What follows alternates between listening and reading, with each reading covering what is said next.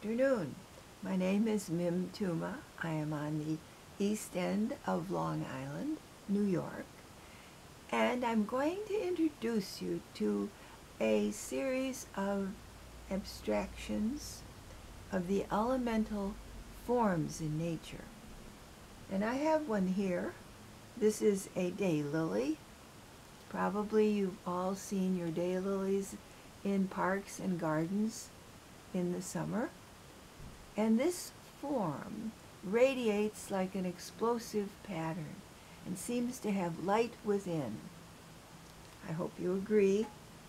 This is an adaptation of a squash blossom. This is an abstraction, and I have been known to do many, many abstractions of nature's flowers, and in this series I call Radiant Energy Light in my pastel drawings. I will explain to you how this is accomplished in the next few videos. I hope to see you there. Thanks for watching.